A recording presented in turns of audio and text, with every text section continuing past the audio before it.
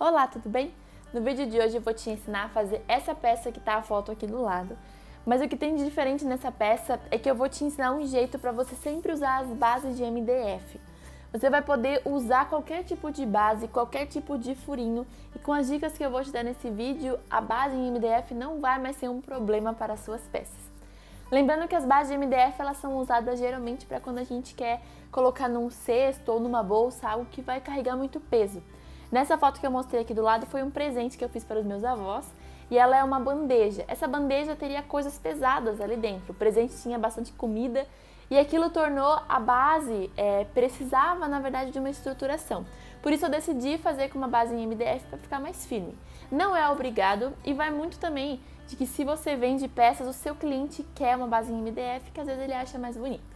No vídeo de hoje eu vou ensinar como você pode fazer, eu vou ensinar todo o passo para fazer essa bandeja. Vale lembrar também que existem muitos tipos para você prender o fio de malha na base de MDF.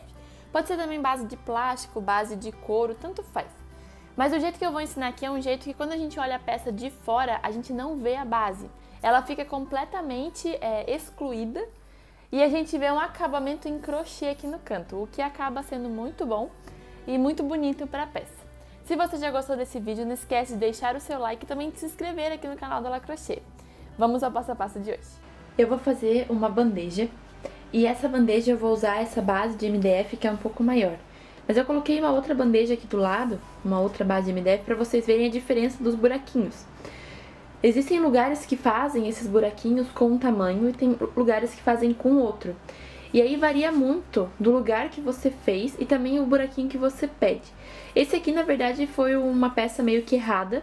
Ela foi feita errada mesmo, mas eu vou usar essa aqui que é errada para mostrar para vocês que qualquer pessoa, qualquer base pode ser utilizada para fazer uma peça, tá? Quando a gente usa uma base pequenininha assim, que ela tá com os pontos bem certinhos, onde cada buraquinho eu vou fazer um pontinho, a gente precisa ter, na, ter em mente que quando eu vou fazer a base, eu vou colocar nas partes retas, né? É oval. Essa parte aqui ela é redonda e aqui ela é reta. Nas partes que são retas, aqui e aqui, eu sempre vou colocar um pontinho em cada buraquinho, sempre um certinho. E quando eu chego na parte que é arredondada, eu preciso é, fazer com aumentos. Talvez eu não vou conseguir colocar aumento em todos os pontos, porque depende da distância entre um buraquinho e outro e depende também da distância do tamanho do buraquinho e da espessura do seu fio. Isso varia muito. Quando eu chego nessa parte aqui redonda, eu vou colocar certos aumentos, talvez um aumento, um solteiro, um aumento, um solteiro, para fazer com que ela fique toda aqui do lado. O jeito da base que eu vou fazer hoje, eu quero que ela fique com aquela trança do ladinho. Então, para isso, eu vou precisar colocar essa essa base, a primeira carreira, como que ela fosse a continuação aqui do lado. Eu não vou já subir direto. Eu vou fazer aqui tudo ponto simples, aí eu vou virar fazendo pontos de aumento, continuar simples, aqui aumentos, e aí aqui a gente fecha de novo. E aí depois que eu fizer uma carreira como que fosse aumentando essa base, que eu vou fazer a finalização para começar a subir. A diferença é que essa base aqui, ó, que tem os buraquinhos maiores, eu já vou colocar mais pontos dentro de cada buraco. Nessa parte aqui, ó, que é a parte reta, eu vou colocar, em vez de ser tudo ponto sozinho, eu vou colocar tudo aumentos, porque daí ele vai ficar bem preenchido aqui do lado. Isso é um jeito que eu encontrei para como a gente utiliza bases que tem algum buraquinho muito maior que você comprou tá bom? Então é isso que eu vou fazer, eu vou, vou usar essa base maior, mas eu vou colocar sempre onde tá reto, tudo aumentos, e aqui a gente vai fazer aumentos diferentes, talvez aumentos triplos aqui do lado, dependendo do que o meu, a minha peça pedir. Então para isso eu vou utilizar a base de MDF, uma agulha, no meu caso eu vou usar a agulha 10 por causa do meu fio, e ela passa por dentro desses buraquinhos, então eu não preciso usar uma agulha menor. E vou usar também o fio que o fio que eu uso é o fio da M-malha para fazer essa base. Então, para começar aqui, o que, que eu vou fazer? Eu vou sempre escolher um buraquinho aqui. Vou pegar o fio e vou trazer pra frente. Assim. Aqui. E aqui eu vou fechar. Aqui eu tenho o meu primeiro ponto, tá? Eu fiz esse ponto e aqui dentro eu já vou fazer mais um. Então, eu vou vir aqui no mesmo lugar, vou pegar o ponto, trazer pra frente e fechar. Ó, viram? Aqui eu já fiz o meu ponto. Agora eu vou ir pro buraquinho do lado. Vou colocar aqui, vou trazer pra frente e vou fechar. E eu vou analisando como eles vão se comportando, olha só. Então eu coloquei aqui, ó, dois pontos nesse primeiro buraquinho, dois pontos no outro, como se fossem aumentos. E eu vou seguindo, fazendo sempre dois pontos, pra ver como que ele se comporta. O que eu tenho que analisar? Essas carreiras aqui, ó, os pontos que vão se formando, eles não podem ficar completamente é, é, juntos, assim, ó. Quando eles ficam muito juntos, não vai subir reto o cesto, ele precisa ficar acomodado. Bem tranquilo, nenhum apertado, bem acomodado. Se caso eu ver que falta aqui, já tá bem retinho, eu venho e faço no próximo. E aí aqui eu vejo o seguinte, se ele ficar bem de lado, ó, estão vendo que o ponto ficou bem pro lado? Ficou bem esticado? Então esse ponto aqui não tá certo. Eu vou desfazer e aqui dentro dessa voltinha eu vou fazer um outro ponto. Aqui, ó. Assim. No próximo eu vou fazer um ponto. Assim, ó. E eu vou seguindo dessa forma em toda a minha peça. Como essa peça aqui ela não tem um redondo muito acentuado, provavelmente eu vou conseguir fazer dois pontos em cada buraquinho até o final, que ela vai se acomodar. Se ela por um acaso começar a envergar, essa peça começar a subir assim, ou subir para baixo, ou descer aqui, né, para baixo da, da base, ou se ela ficar muito amontoada, a gente tira pontos ou coloca pontos. Nesse caso aqui, que eu tenho buracos maiores, eu tô colocando aumento em tudo, tá? Aumento em tudo. E nessa parte reta aqui, provavelmente também vou colocar aumento. Então eu vou fazer só até chegar à parte reta, pra vocês verem. Mas ó, eu vou colocando aumento em todos os pontos. Comecei aqui, no meio agora. E vou vendo como que eles vão se comportando. Ah, olha só, esse aqui ó, já deu pra ver que ele ficou retinho. Porque se eu fizer mais, ele vai, ele pode envergar. Então aqui eu vou fazer um só. Faço o próximo e eu vejo como que ele se comportou. Ó, ele ficou longe, tá vendo? Não deu certo, então aumento também. Desmancho, volto e coloco um aumento. E esse é um jeito pra gente analisar e sempre colocar nossa primeira carreira na base. Tem vários jeitos de colocar coisas na base, vários. Tá? Tem, a gente pode já começar com a subindo a carreira, que foi do jeito que eu fiz no Moisés, que eu vou deixar aqui pra vocês também. É, eu, é, a gente pode ir fazendo primeiro esse aumento, né, ó. É como que essa, esse reto aqui, ó, ficasse retinho aqui. Assim também dá pra fazer. E aí eu vou chegando. Eu acho que quando eu chegar aqui na parte reta, eu vou precisar colocar menos aumentos. Aqui, como é a parte da virada ainda da base, eu vou colocando né, os aumentos, ó. Tudo aumentos. E ele tá se comportando bem, ele tá ficando bem retinho. A partir do momento que ele começa a envergar muito, daí a gente tira um pouco.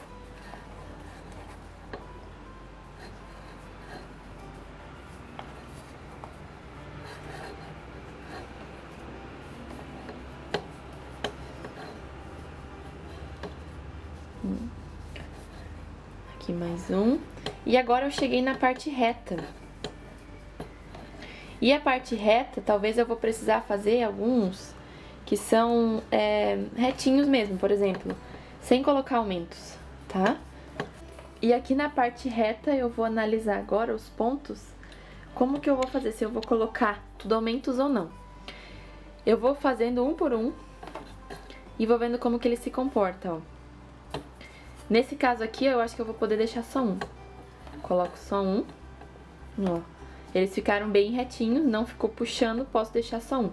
Mas no próximo eu vou colocar dois, porque esse meu buraquinho ele é maior. Se você tem só um buraquinho menorzinho, é sempre colocando um só em parte reta. Tá sempre lembrando que ele precisa ficar aqui, ó, seguindo a base, tá? Ele não pode já levantar. Vou vindo do lado. E aqui eu acho que eu vou ter que deixar só um. Uhum. Olha, já acomodou. Vou vir no próximo e vou colocar um aumento. E assim eu vou fazer em toda a minha base. Não tem como eu chegar aqui e falar assim, ah, você precisa fazer essa quantidade de pontos aqui na sua base, que pode ser que vai dar diferente, tá? Cada um tem um tipo de base, um tipo de tamanho, uma quantidade de pontos. O que vocês precisam analisar é sempre se os pontos eles estão ficando confortáveis aqui em cada buraquinho. Se eles estão puxados, a sua base, quando a sua peça quando for crescer, vai subir, vai crescer puxada também. Se você deixar ela é, muito, é, muito ponto, ela provavelmente vai abrir quando for crescer. Essa é a parte que a gente estuda quando a gente usa bases, tá? Então eu vou dar a volta toda aqui. Quando chegar no primeiro ponto, sempre analisando os tipos de aumento aqui pra minha base, quando chegar aqui eu volto é, pra mostrar como continuar. Eu dei a volta toda aqui na base em MDF e quando era nas partes retas, eu tive que fazer um casado, que é um aumento, e um simples, um aumento, um solteiro, um casado, um solteiro, um casado, um solteiro. Em toda essa parte reta aqui da base, como eu expliquei pra vocês. No meu caso, eu tive que colocar um aumento aqui nessa parte, porque os buraquinhos eles eram muito grandes. Então eu precisei colocar isso. E aqui na parte onde eu tinha as viradas, eu coloquei aumento em todas as carreiras. Se caso a sua base for certinha, como no caso dessa aqui, provavelmente você vai colocar aqui um aumento, um sozinho, um aumento, um sozinho, e aqui nessa parte sem colocar aumento nenhum, que é a parte reta. Isso aqui vai dar análise de cada um.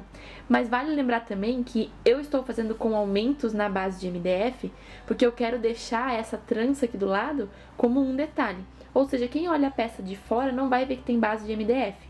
Se caso eu quero colocar sem esse detalhe da trança aqui, eu posso já fazer um ponto em cada carreira, em cada buraquinho aqui da base, já colocar pra cima e já subir. Foi esse jeito que eu fiz na base do Moisés, que eu usei, tá bom? Que tá aqui no YouTube também. Mas essa aqui eu queria fazer diferente, que eu quero deixar esse trançado. E para fazer esse trançado aqui, antes de começar a subir, eu preciso fazer uma carreira inteira de ponto baixíssimo. E para fazer o ponto baixíssimo sem precisar cortar o fio, eu vou fazer uma técnica que eu uso, que eu acho que vocês já conhecem, que é fazer cinco voltas ao redor da minha peça. Eu fiz as cinco voltas, o fiozinho tava aqui, né? Eu fui dando as voltas aqui ao redor, cinco voltas bem certinho. E deixo um pouquinho a mais aqui, aqui eu vou cortar o meu fio. E aí agora, o que, que eu vou fazer? Essa última laçada que eu fiz aqui, que é essa laçadinha onde tá a minha agulha, eu vou puxar todo esse fio aqui pra frente. Vou puxando. Puxei todo o fio e daí ele fica só com um risquinho aqui. E agora eu vou fazer o seguinte, eu vou pegar aqui no lado, ó, aonde seria o último, a última trancinha que tá deitada, eu vou pegar a agulha de trás pra frente. Pegar a agulha de trás pra frente, vou levar essa laçadinha lá pra trás. E eu vou levar todo esse fio de novo aqui pra trás.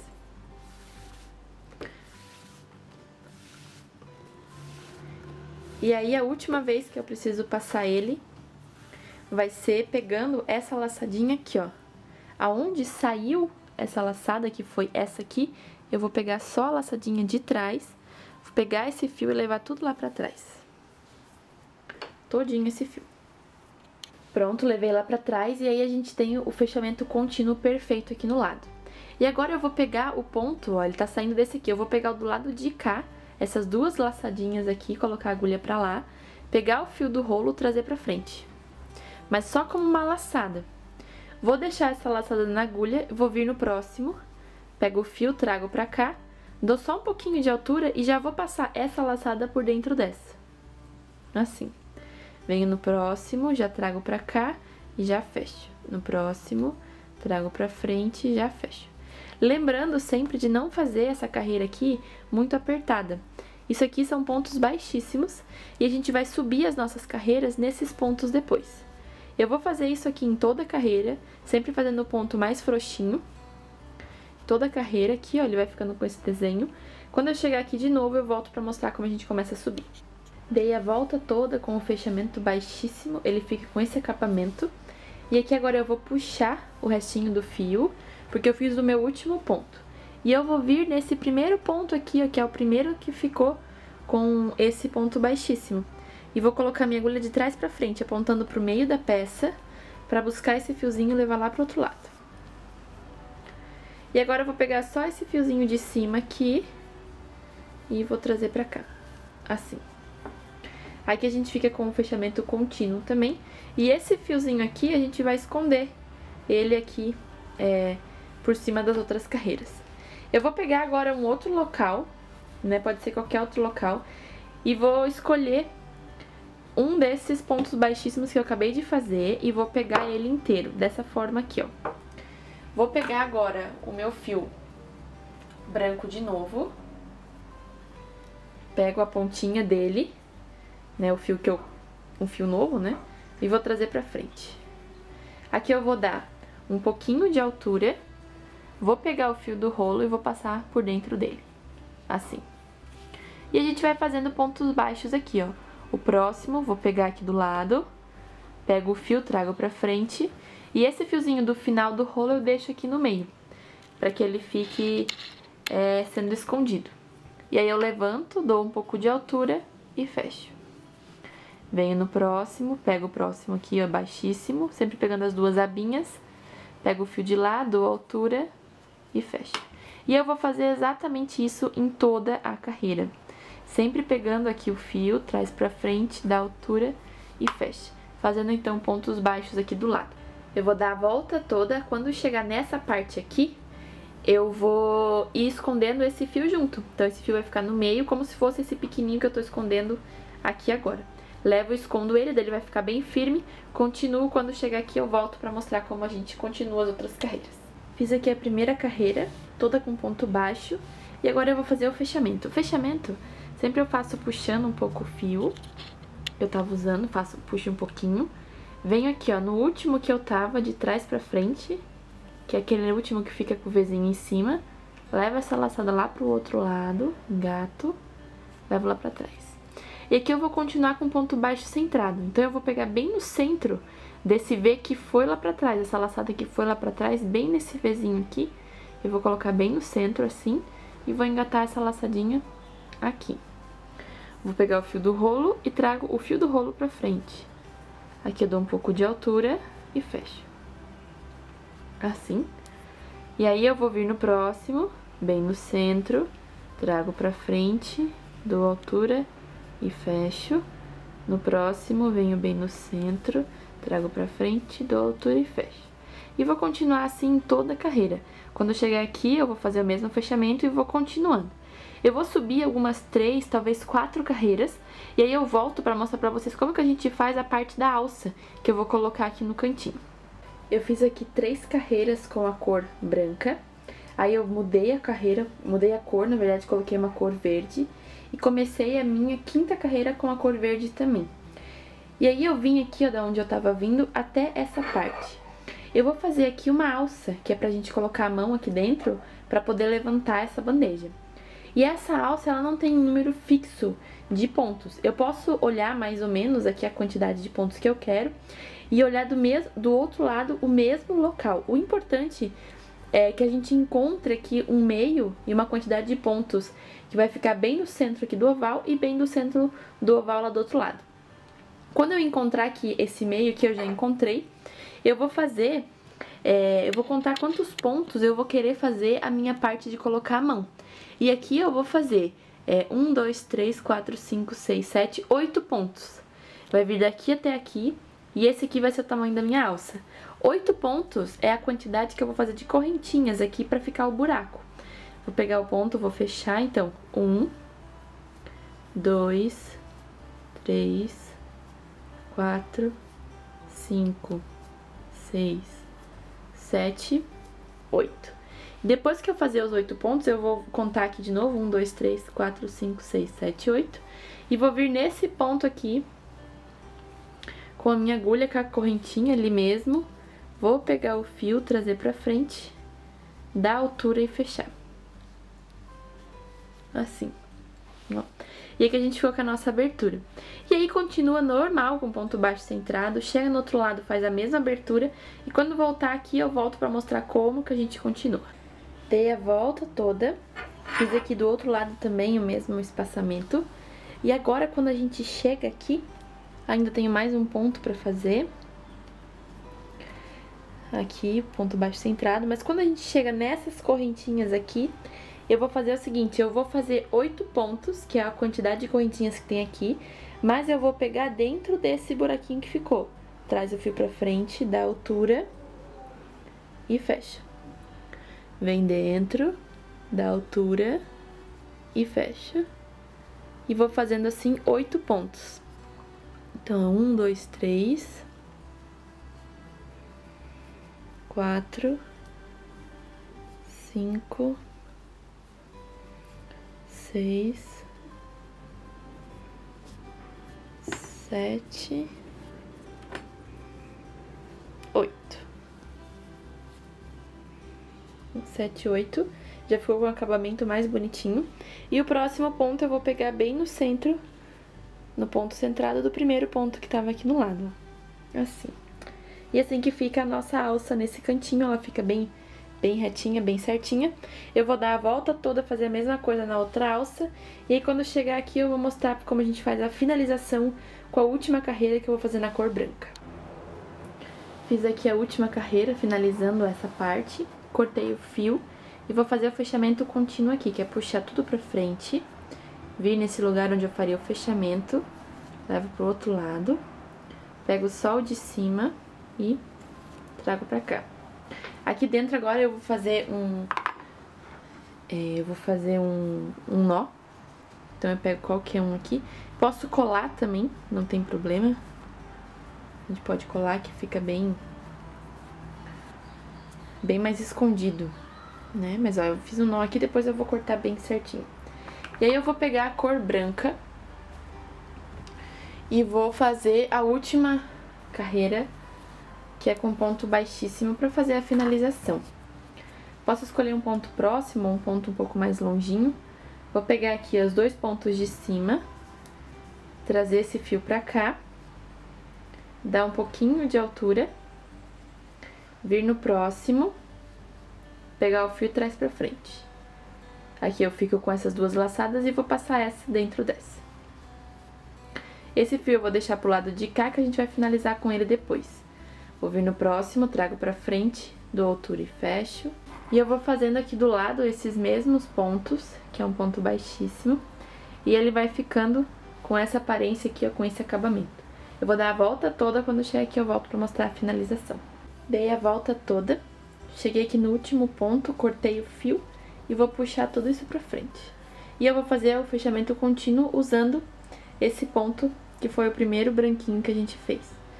Vou pegar aqui, ó, vou levar pro outro lado, trazer pra cima, né? Pegar esse primeiro aqui de cima, levar pra cá. E aí eu vou, vou vir com uma agulha menorzinha, só pra não estragar, mas vou pegar aqui, ó, do verde para levar aqui para trás esse fiozinho. E aqui a gente ajeita, cuidando para não estragar. E aqui atrás a gente fica com os dois fios, o do primeiro, do início e o do final. E esses dois eu vou dar um nó. E eu tento dar um nó bem próximo do buraquinho aqui entre um... Esse foi o vídeo, então, do passo a passo de como você pode usar as bases de MDF nas suas peças. Vale lembrar que eu uso esse tipo de base até em bolsas, que eu acho que é muito prático e a bolsa ela vai ficar sempre é, em pezinha, organizadinha. Eu acho muito, muito bom. Se você fez alguma peça que usou MDF, não esquece de me marcar lá no meu Instagram, que é lacrochê_crochê. Lembrando que crochê sempre é com K. Espero que você tenha gostado desse vídeo. É, não esquece de deixar o seu like, de se inscrever aqui no canal, de ativar o sininho e a gente se vê nos próximos vídeos. Um abraço e bom crochê!